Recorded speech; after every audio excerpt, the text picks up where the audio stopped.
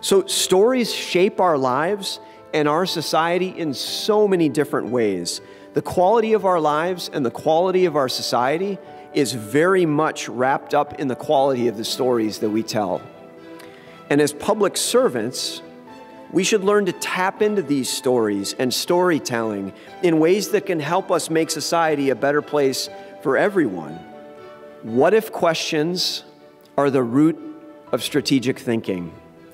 To use film and fiction to help us wrestle with, grapple with, struggle with, shadowbox with those type of what if questions, I think that's of immense value to anyone seeking to make an impact on society.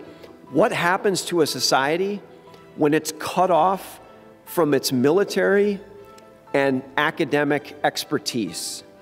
Uh, many of you, if you're familiar with the series, you know that the Night's Watch over time, over generations, became neglected, segregated, forgotten, left on the wall. And when they saw a threat growing from the north and sent ravens down to the rest of Westeros, they were ignored. There are serious consequences when, for, for the separation of soldiers and scholars from the rest of society. That's something that we can take away from this program.